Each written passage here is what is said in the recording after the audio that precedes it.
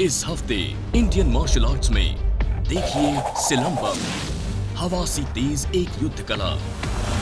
दो हाथों में तलवार लिए वार करना, ये भी है इसकी खासियत।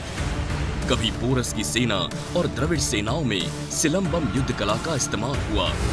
सोलह तकनीकों वाली ये युद्ध कला करती थी दुश्मनों का संहार इंडियन मार्शल आर्ट्स बुधवार रात साढ़े नौ बजे। जब चाहो ऑन हो जाओ। एपिक ऑन चलाओ। Available across all devices